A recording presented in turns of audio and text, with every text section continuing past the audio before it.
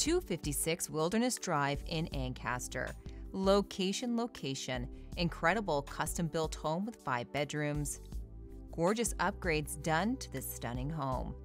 Hardwood floors, granite counters, high ceilings, across from park, beautiful private backyard with in ground pool, den on main level, plus many, many more upgrades. Shows 10 plus plus.